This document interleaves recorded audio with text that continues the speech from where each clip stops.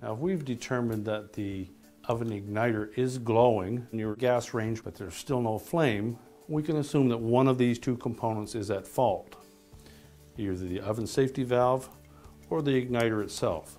If you have access to a clamp-on type ammeter, we can attach that in series with this circuit to determine whether the igniter is working efficiently enough to open that bimetal safety valve.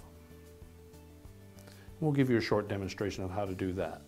Now we've attached our clamp-on ammeter to the wire that either goes to the bake burner igniter or the bake burner safety valve. Either of those will work because they're in a series circuit. And then we'll turn on a bake function to see what our current draw is in that line. Typically, they will be about 2.8, 2.9 to 3 amps is a normal current draw for a good working igniter. Now because we are only 2.7 amps, we can assume that that igniter is not drawing enough current to actually ignite that flame, and therefore it won't open the oven safety valve to allow the gas to enter the burner chamber. So we'll go ahead and replace that oven burner igniter. Now here we have a selection of hot surface or glow bar igniters. Now to test these for continuity using a multimeter, we'll simply insert both leads onto the terminals for the igniter and measure the resistance. This one does show resistance, so therefore it does have continuity.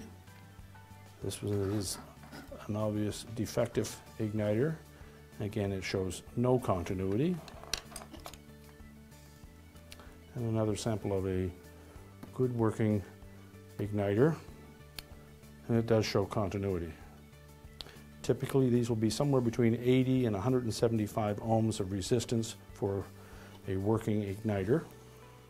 Now to test the oven safety valve,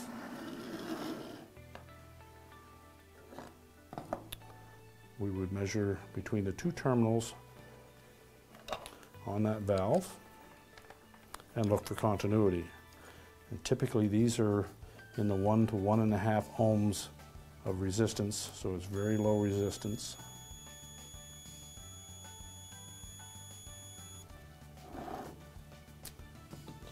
If your model uses a dual valve, one for the broil burner and one for the bake burner, we'll have two bimetals.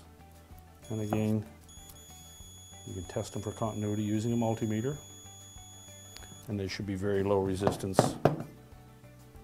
And those would indicate that they are normal working oven safety valves.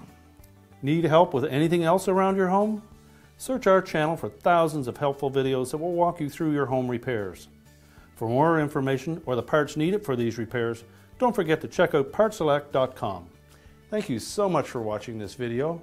We hope it will be helpful in diagnosing your own range problems. And remember to subscribe